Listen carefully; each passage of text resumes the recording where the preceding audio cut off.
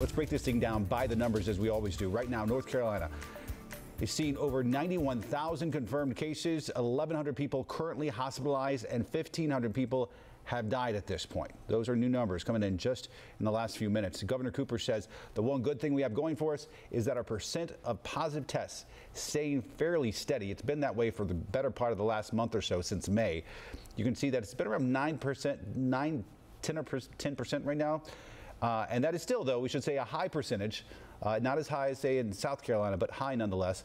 Health officials say it needs to come down before we can ease any more restrictions. Speaking of South Carolina, they're seeing just over 58,000 cases so far, steadily creeping towards a 1,000 deaths.